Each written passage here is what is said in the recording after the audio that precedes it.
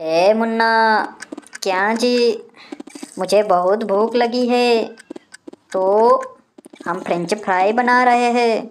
क्या तू खाएगा क्या? हाँ हाँ मैं भी खाऊँगा। लो, हमने बना लिया इसको बेच भी देंगे। और कितना पैसा कमाते, देख लेते हैं।